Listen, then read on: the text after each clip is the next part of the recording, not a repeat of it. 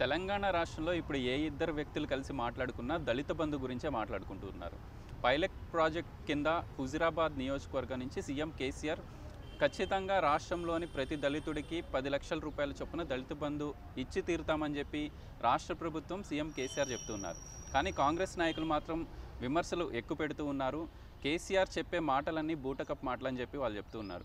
అయితే ప్రస్తుతం మనం కుకట్పల్లి నియోజకవర్గంలో ఉన్నాం. నాతో పాటు కుకట్పల్లి నియోజకవర్గానికి సంబంధించిన కాంగ్రెస్ పార్టీ సీనియర్ నాయకుడు నాగిరెడ్డి ఉన్నారు.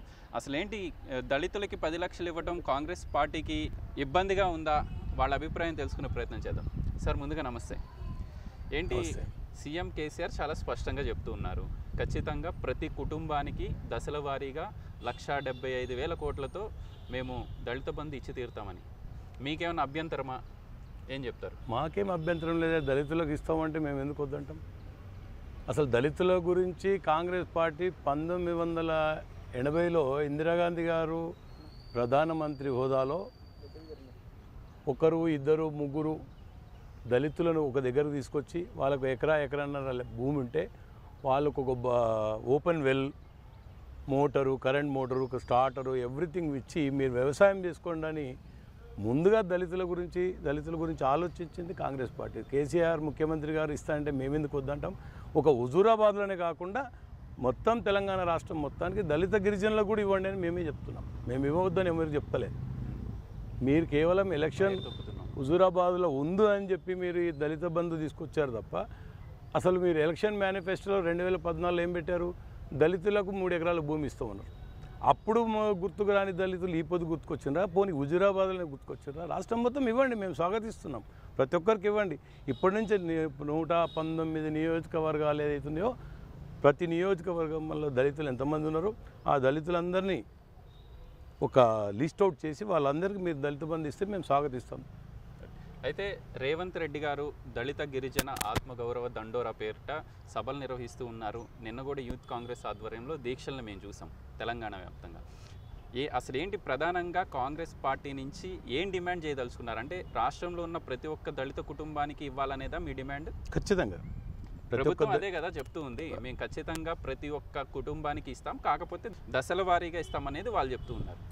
దశల వారీగాని కాదు ఎక్కడ ఎలక్షన్ వచ్చిందే కదా అక్కడ వరాలు గుప్పిస్తున్నాం. ఒక్కొక్క రక రకమైన కాన్ఫరెన్స్లో మనం మరి నాగార్జున సాగర్ ఎలక్షన్ అప్పుడు నీకు దళితులు ఎందుకు గుర్తుకు రాలేదు? ఈరోజే హుజూరాబాద్ ఎలక్షన్లో ఒక్క ఈటల రాజేందర్ గారు తెలంగాణ గురించి పోరాడి తెలంగాణలో మీతో పాటు పనిచేసిన వ్యక్తిని ఆ ఒక్క వ్యక్తిని ఓడించడానికి ఇన్ని వాగ్దానాలు ఇంత అధికారం మహాంభావం ఎంత అవసరమా? ప్రతి ఒక్కరికి నూట పంతొమ్మిది నియోజకవర్గాలలో మీరు ఉన్న ఎమ్మెల్యేలందరూ రాజీనామా చేయండి. మేము కూడా చేస్తాం.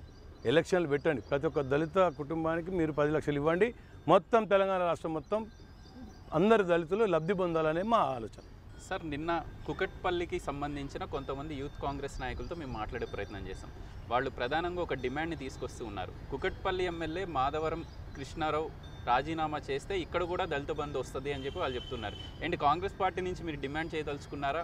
న్యాచురల్గా తప్పకుండా మా అధ్యక్షుల వారు కూడా చెప్పారు. ప్రతి నియోజకవర్గంలో ఎవరైతే అధికారంలో ఉన్న పార్టీ అధికారంలో ఉన్నోళ్ళు కానీ లేనోళ్ళు కానీ వాళ్ళు రిజైన్ చేస్తేనే ఎలక్షన్లు వస్తే ఎలక్షన్లు వస్తే దళితులకు లబ్ధి చెందుతుంది. వాళ్ళకు కూడా పది లక్షలు కావాలి. మా కూకట్పల్లిలో కూడా సుమారుగా పది ఇరవై ఐదు వేల మంది కుటుంబాలు ఉన్నాయి. మరి వాళ్ళకు కూడా రావాలని మేము కోరుకున్న వాళ్ళు తప్పలేదు కదా. కూకట్పల్లి చేయాలి షేర్లింగంపల్లి చేయాలి కుత్బుల్లాపూర్ చేయాలి సనత్ నగర్ చేయాలి జూబ్లీల్స్ చేయాలి నూట పంతొమ్మిది నియోజకవర్గాలు చేయాలి. మా అవసరం అయితే మేము కూడా ఉన్న నియోజకవర్గాలు మేము కూడా రాజీనామా చేయడానికి సిద్ధంగా ఉన్నాం. మీరు డిమాండ్ చేస్తూ ఉన్నారు. ఈ స్థానిక ఎమ్మెల్యే మాధవరం కృష్ణారావు రాజీనామా చేయాలని. ఒకవేళ ఆయన రాజీనామా చేస్తే మీరందరూ ముందుకొచ్చి మళ్ళీ ఆయన గెలిపిస్తారా? ఎందుకు మేము దళిత బంధువు కావాలనుకుంటున్నాం గెలవడం ఓడడం ప్రజలు నిర్ణయిస్తారు ఎవరికి వేయాలనేది. మేము గెలిపిస్తామని మీరు గెలిపిస్తామని మాతో నిలబడతారు మీరు కానీ దళితులందరికీ న్యాయం జరగాలనే మా కోరిక కానీ ఆయన గెలవాలా ఇంకోరు గెలవాలనే కాదు. కేవలం దళిత బంధు హుజూరాబాద్ కాకుండా తెలంగాణ రాష్ట్రం మొత్తం కావాలనే మా కోరిక. ఎవరు గెలుస్తారో ఎవరు ప్రజలు నిర్ణయిస్తారు. సరే ఇట్లా సరే దళిత బంధు దళితులు చాలా ఇదిగా ఉన్నారు కాబట్టి దళిత బంధు ఇస్తామని చెప్పి టీఆర్ఎస్ ప్రభుత్వం చెప్తుంది. కానీ ఇప్పుడు కొత్త కొత్త డిమాండ్లు తెరపైకి వస్తున్నాయి బీసీ బంద్ ఇవ్వాలని చెప్పి జనాభాలో సగం భాగం పైగా ఉన్న బీసీలకు కూడా బీసీ బంద్ కావాలని చెప్పి ఆర్ కృష్ణ ఇలాంటి వాళ్ళు అక్కడ ధర్నా చేస్తున్నారు ఇందిరా పార్క్ దగ్గర. మరోవైపు మైనారిటీ బంద్ కావాలంటున్నారు. ఓసీలో వెనకబడిన వాళ్ళకు కూడా ఒక బంద్ కావాలంటున్నారు. ఇవన్నీ ఇవ్వడానికి రాష్ట్ర ప్రభుత్వానికి సాధ్యమవుతుందా? అది మనం ఇచ్చేటప్పుడు ప్రనౌ అనౌన్స్ చేసేటప్పుడు అది ఆలోచించుకోవాలి. ఈ కులము దళితులని గిరిజనులని ఓసీలని ఇంకోరు బీసీలని కాదు. ప్రతి కులంలో బీదోళ్ళు ఉన్నారు. ప్రతి కు- వర్గాల్లో బీదోళ్ళు. ఇప్పుడు పది శాతం ఈడబ్ల్యూఎస్ రిజర్వేషన్ తెచ్చిండ్రు ఈ రెండు సంవత్సరాలు రెండు సంవత్సరాలు మర్చిపోయి నిన్ననే దాన్ని అనౌన్స్ చేస్తుంది అంటే కేవలము మసిపూసి మారడిగా చేయడంలో తప్ప ఇంకా వేరే లేదు కాబట్టి మేము ప్రతి ఒక్క వర్గానికి దళితులతో పాటు బీసీలు ఉన్నారు మైనార్టీలు ఉన్నారు అగ్రవర్ణ పేదలు కూడా ఉన్నారు చాలామంది ఇప్పటి తిన్నికి అన్నం లేని వాళ్ళు అగ్రవర్ణ పేదలు కూడా ఉన్నారు. వాళ్ళకు కూడా కావాలని నేను కోరుకుంటున్నాను. కాంగ్రెస్ పార్టీ నుంచి సీనియర్ నాయకులందరూ ఒకటే డిమాండ్ చేస్తున్నారు. దామోదర రాజనరసింహ లాంటి వాళ్ళు గతంలో సబ్ ప్లాన్ తీసుకొచ్చారు. దానికి సంబంధించిన నిధులు అరవై వేల కోట్ల వరకు ఖర్చు పెట్టని పరిస్థితుంది. ముందు అవి ఖర్చు పెట్టిన తర్వాత దళితులకి పది లక్షల రూపాయలు ఇవ్వండి అని చెప్పి కాంగ్రెస్ పార్టీ డిమాండ్ చేస్తుంది. ఏంటి నాగిరెడ్డి గారు ఏం చెప్తారు? మీకు తెలియదా గతంలో ఉమ్మడి ఆంధ్రప్రదేశ్ రాష్ట్రంలో రెండు వేల పన్నెండు పదమూడులో దామో పెద్దలు ఉప ముఖ్యమంత్రి హోదాలో దామోదర్ రాజనరసింహ గారు ఎస్సీ ఎస్టీ సప్లాన్ పెట్టిండు. వాళ్ళకి ఇన్ని నిధులు కేటాయించాలి వీళ్ళు ఖర్చు పెట్టాలని చెప్పి.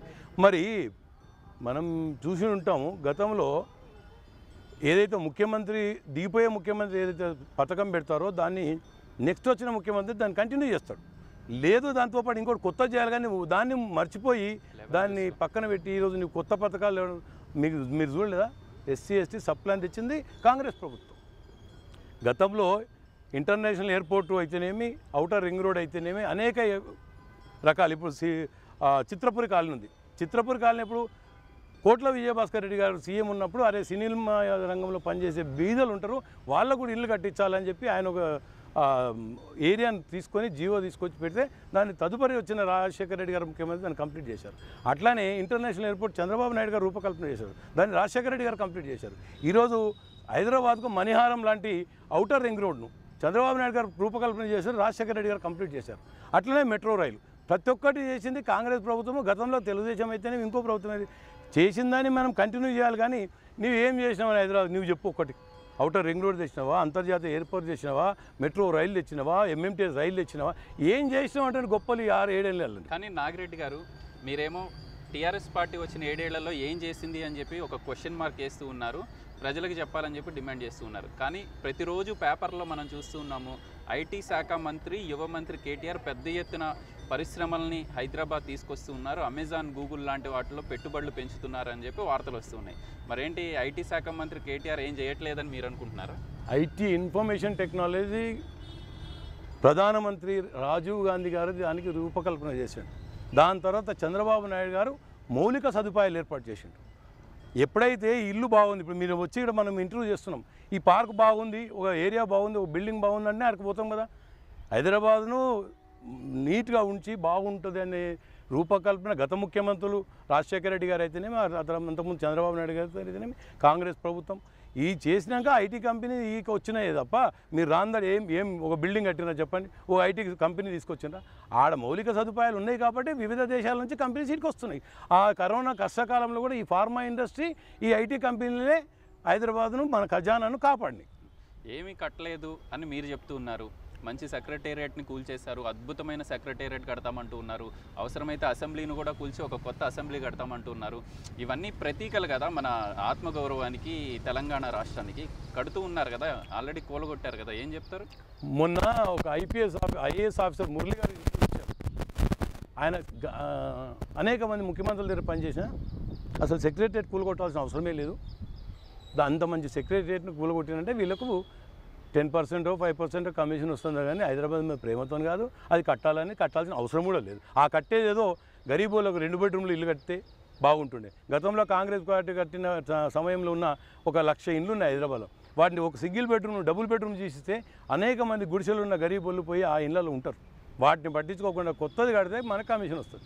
దాన్నే ఆలోచన తప్ప పాతవి కట్టినవి కానీ ఇంతకుముందు ఉన్నాయి కానీ వినియోగించుకోవడం మన ముఖ్యమంత్రి గారికి అవసరం ఉంది. ఒక హాస్పిటల్ కట్టినావా? నీ ఎలక్షన్ మేనిఫెస్టో ఉంది కదా. హైదరాబాద్లో నాలుగు చుట్టుపక్కల నాలుగు హాస్పిటల్ కడతాను. కట్టినావా? ఉస్మానియా హాస్పిటల్ కూలిపోయినకి వచ్చింది. కట్టినావా?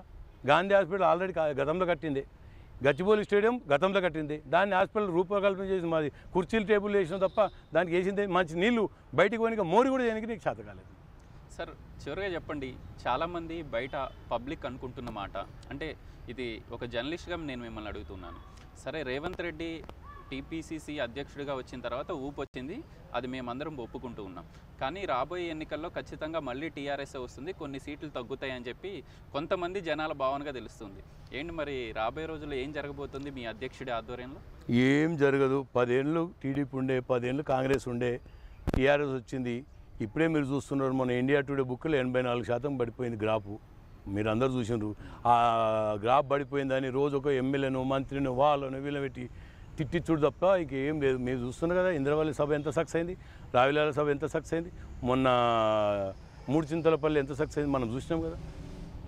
రేవంత్ రెడ్డి గారు పిసిసి అధ్యక్షులైనాక కాంగ్రెస్ పార్టీ ఖచ్చితంగా ఊపు వచ్చింది పూర్వవైభవం వస్తుంది. యువతల ఏదైతే ఉందో ఇప్పుడు రెండు వేల పద్దెనిమిది ఎలక్షన్లో నిరుద్యోగ భృతి మూడు వేల నూట పదహారు ఏది వినాయకుని లడ్డు వాడినట్టు.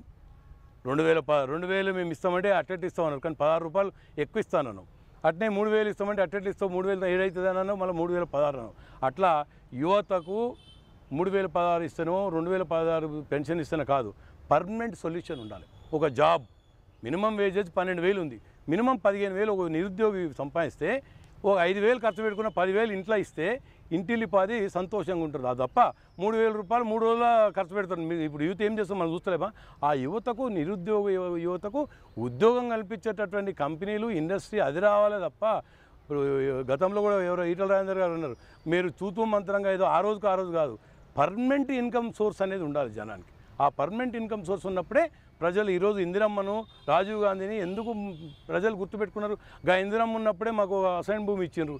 గా ఇందిరమ్మ చెన్నారెడ్డి ఉన్నప్పుడు ముఖ్యమంత్రి ఉన్నప్పుడే జా- రెండు ఎకరాల జాగ ఇచ్చిండ్రు. వాటిని అన్నీ మీరు గుంజుకుంటున్నారు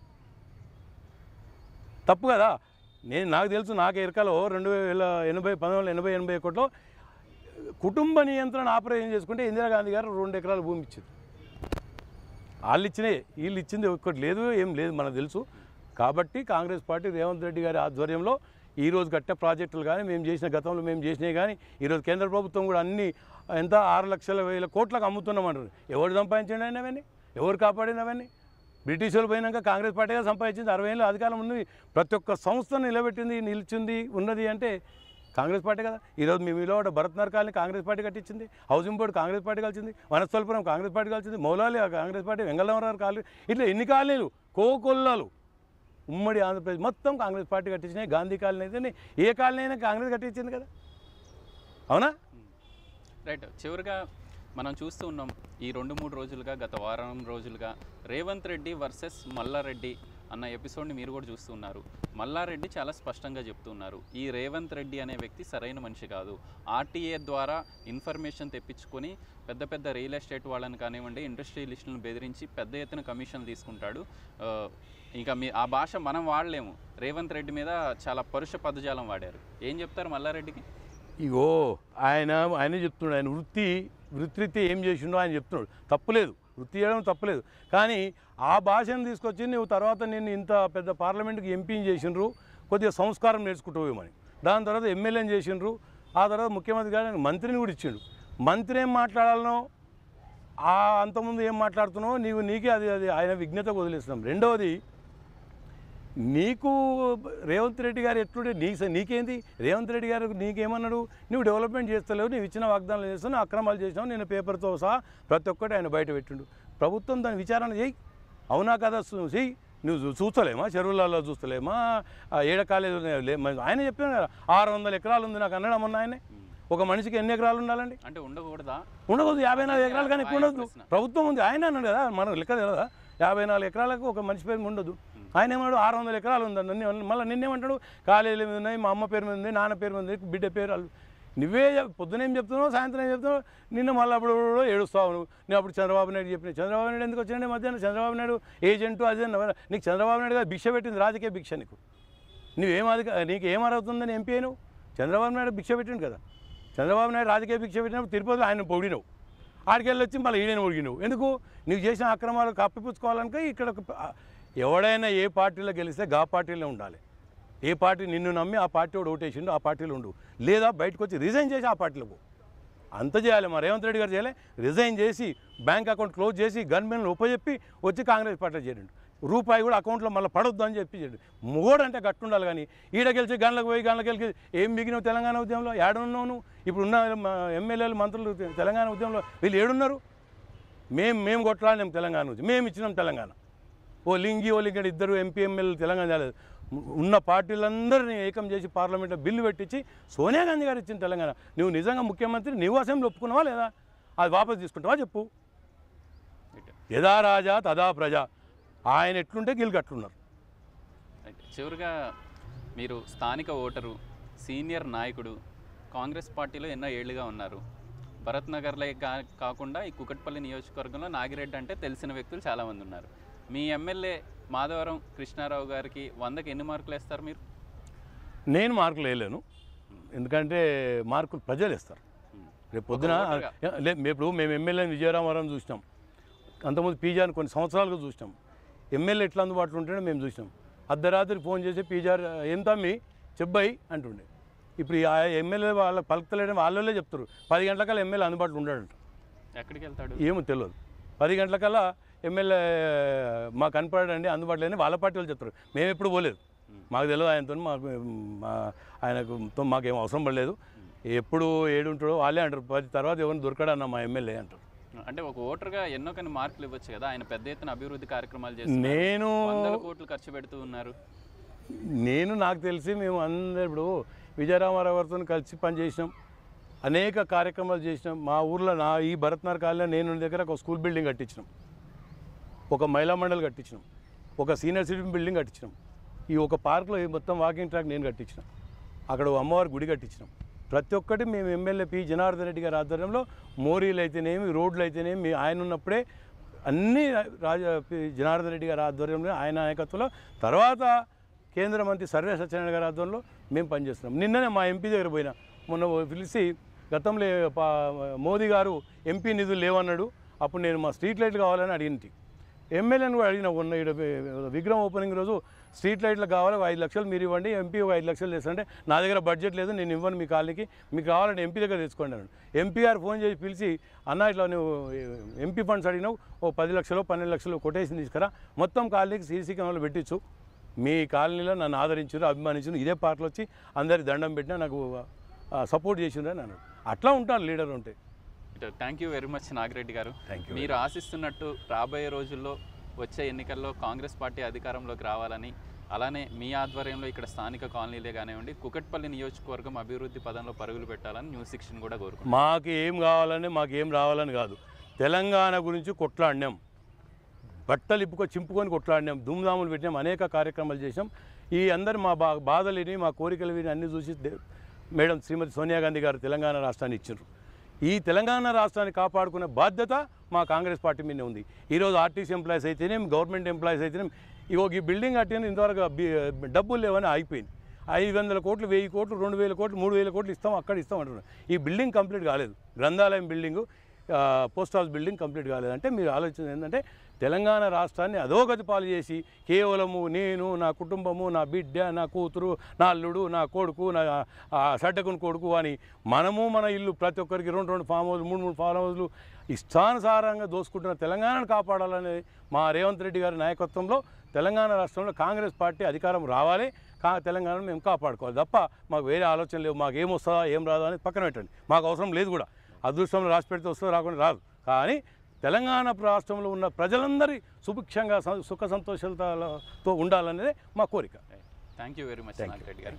So ఇది ఓవరాల్గా నా పక్కన నాగిరెడ్డి గారిని చూస్తూ ఉన్నారు. సీనియర్ కాంగ్రెస్ నాయకుడిగా స్థానికంగా కూకట్పల్లి నియోజకవర్గంలో ఎన్నో కార్యక్రమాలు గతంలో చేశారు. సరే ప్రస్తుతానికి ప్రభుత్వం పైన కొట్లాడుతూ ఉన్నారు.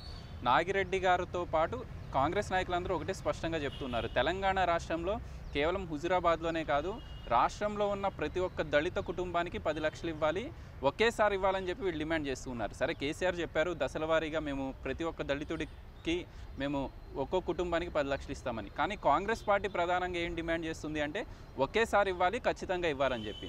అదేవిధంగా కొత్త కొత్త డిమాండ్లు తెర మీదకి వస్తూ ఉన్నాయి. బీసీ బంద్ కావాలని బీసీలు అదేవిధంగా అగ్రవర్ణాల్లో ఉన్న పేదలకు కూడా మాకు కూడా ఒక బంద్ ఉంటే బాగుండని ఈ డిమాండ్లన్నింటినీ కూడా నెరవేర్చాల్సిన బాధ్యత ఖచ్చితంగా సీఎం కేసీఆర్ మీదే ఉందని చెప్పి కాంగ్రెస్ నాయకుడు నాగిరెడ్డి చెప్తున్నారు. చూడాలి మరి రాబోయే రోజుల్లో ఏం జరగబోతూ ఉంది. నిజంగానే స్థానిక ప్రజలు కానివ్వండి రాష్ట్ర ప్రజలు కాంగ్రెస్ పార్టీని రేవంత్ రెడ్డిని ఆదరించే పరిస్థితి ఉందో లేదో ఖచ్చితంగా భవిష్యత్తే నిర్ణయిస్తుంది. వీడియో జర్నలిస్ట్ అంజితో గోపికృష్ణ న్యూస్ సిక్స్టీన్ కుకట్పల్లి నియోజకవర్గం నుంచి.